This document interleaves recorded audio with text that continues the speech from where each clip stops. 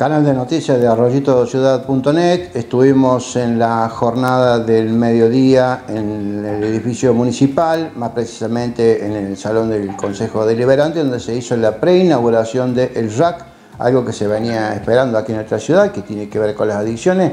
Charlábamos con eh, Pamela Muso, eh, que todos sabemos, bueno, directora del área de adicciones, este, bueno, por ahí con lo que eso significa, ¿no? por el gran trabajo que se viene realizando.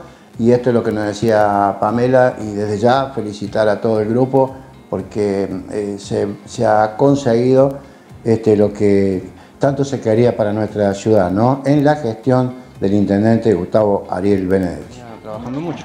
Sí, como siempre, eh, hoy es un, un hecho realidad eh, la preinauguración del centro de la RAC aquí en Arroyito y bueno, y todo esto se lo debemos también a, gente de nuestra comunidad que apostó y que confió en cada uno de nuestro equipo y, bueno, y obviamente en el intendente municipal y todo el ejecutivo que, bueno, que hicieron posible que hoy Arroyito cuente con un centro de, asistencia a las adicciones. Eh, si bien es cierto, nosotros conocemos, pero está bueno también que la gente sepa de la importancia de que esta situación, que lo que vos planteas, que hoy tenemos en nuestra ciudad, es muy importante. Sí, es muy importante, hay mucha demanda. Nosotros día a día eh, participan de, se acercan al centro muchas, muchos padres eh, pidiendo ayuda, asistencia y también información, ¿no? Porque la sociedad está desinformada también sobre el tema de las adicciones. Eh, la adicción es una enfermedad, ya no es más un vicio, es una enfermedad que necesita ser tratada.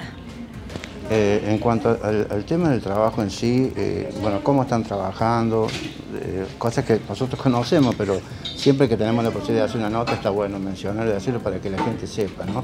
Lugares que trabajan, los horarios que, se tienen?